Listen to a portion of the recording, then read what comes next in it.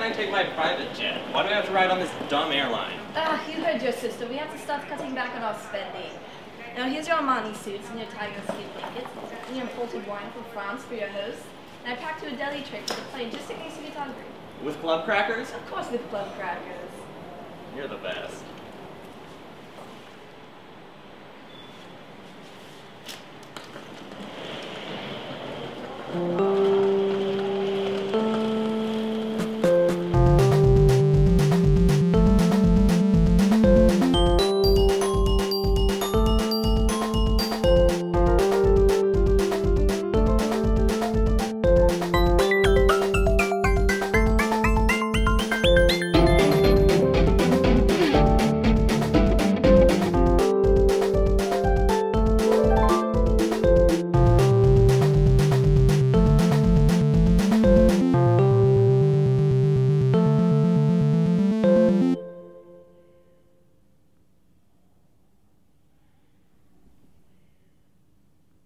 Great job, everyone, but I do have a few comments. As do I. Oh, I forgot that you were there. In your show, you seem to have several musical numbers, all featuring a full chamber orchestra. The space isn't even large enough for a tuba. Also, I have yet to see either of your actors perform musically. I've played guitar for seven weeks. Not helping, Nanners. I put my music career behind me. Not helping. And I can't help but notice that your assistant has been texting this entire rehearsal. He doesn't even pay me. Not helping. Could I speak to you outside for a moment? Let me just start off by saying While you were that- rehearsing, I analyzed the entire budget of your show. I see that you buy your actors new t shirts every day because they are, I quote, soiled with failure. Stop. Also, this script is mostly just a list of your favorite hats. And this is just a used napkin. Oh, well, this it's been a rough few days. The script's going through so many rewrites, and uh, Jeff, he's actually working for college credit. I'm not paying him, and Nanners went to two funerals recently, so he's just. That's the other thing I needed to talk to you about. Nanners seems to be, let's just say, different. His behavior towards Svetlana is very detrimental to your show. I suggest if this isn't rectified, that you find somebody else. You let me worry about Nanners. He requires a special touch. Very well. I suggest you take care of this now. Hey Casey, you wanted to see me? Yes, Nanners. Well, could you come down here? I think I twisted something.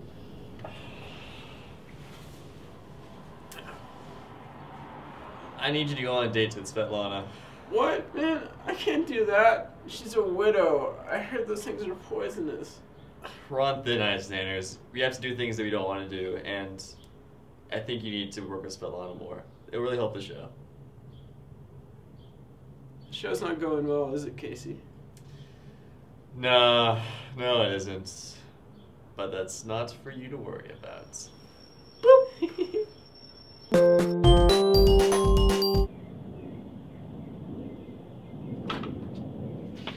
Uh, Svetlana? Oh, um, would you like to, uh, Yes? would you like to, uh, go and, um, food? Are you trying to ask me out, Nana? No, I mean, yes, maybe as friends if you want to. You're adorable. Pick me up at six.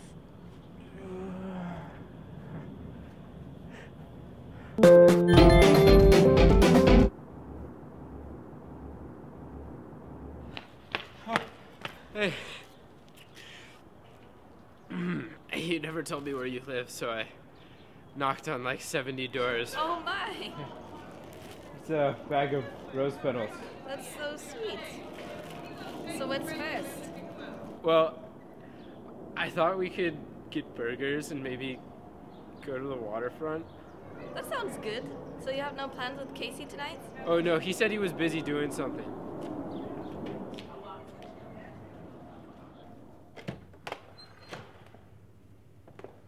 Hello?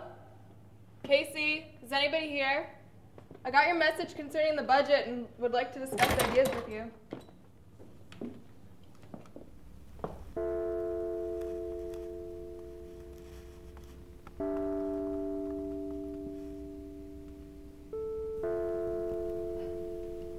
There's no budget changes there? Nope, just a romantic dinner for two. Bye, Mr. Carrington. Wait, stay! And what makes you think I'd give you another chance at romancing me? What else are you gonna do? And then I said to him, That's not my tennis racket, man. I get it. It was his penis. Oh, now I get it. Uh, I've never had hamburgers before. but they're called hamburgers, actually. Oh, well, whatever it is, it's delicious. Uh, good.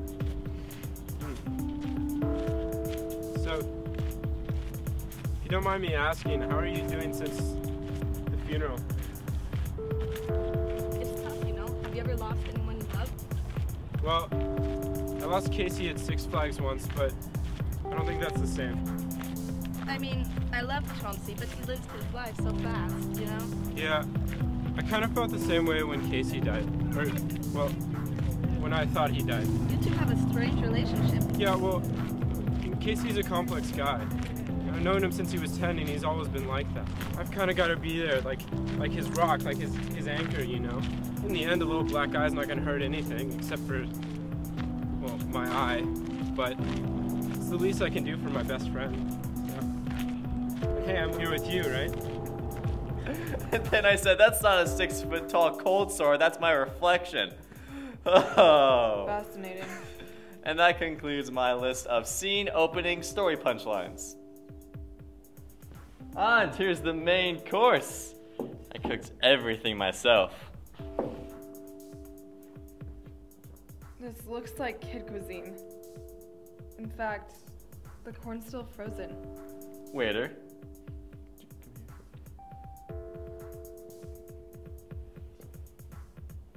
The corn's still frozen!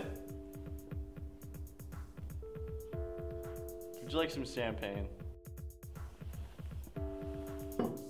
Please. One moment.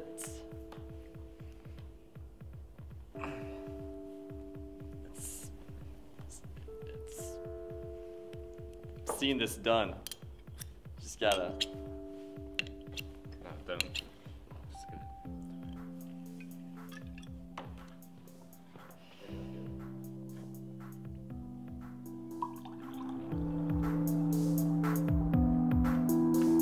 A really great time tonight. Me too.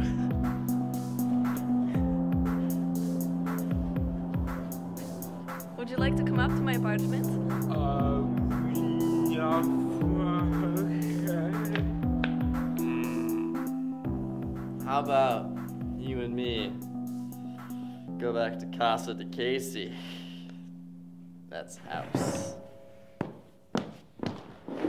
Aren't you gonna thank me for dinner? Mr. Carrington, I came here under the pretense that we would be speaking strictly about business. Then I come here to find that you set up this sorry excuse for a dinner date and attempt to woo me. I have no reason to thank you. You think you can come in here and tell me what to do? Do you know who I am? I am KC Carrington, and this is my show and my rules because I am God! You're right. From now on, you will not have to listen to anyone because I will not be financing your show. Have fun playing God, Mr. Carrington. You can do better than this.